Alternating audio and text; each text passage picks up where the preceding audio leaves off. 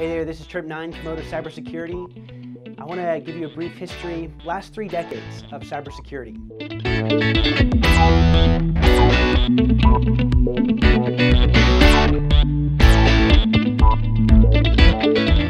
Back in 1987, many of you are familiar with John McAfee. He started McAfee Software, and now in present day we have 67 different companies, probably even more than that, that all try to solve the problem of malware.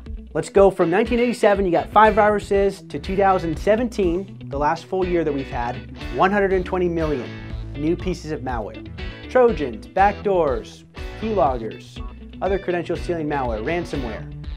And there's been a lot of new security introduced to try to inhibit those threats from entering a network. So even if you have a security stack, let's say you have seven layers of security, and it gets you to 99% protection. What about that 1%?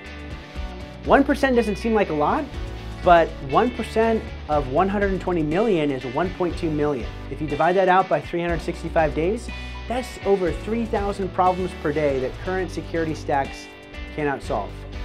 But with Comodo, we put those 3,000 unknown threats into our auto containment technology. So with Comodo, you can say with confidence, I got 99 problems, but malware ain't one. Call your sales rep today and ask for a demo of Comodo's advanced endpoint protection.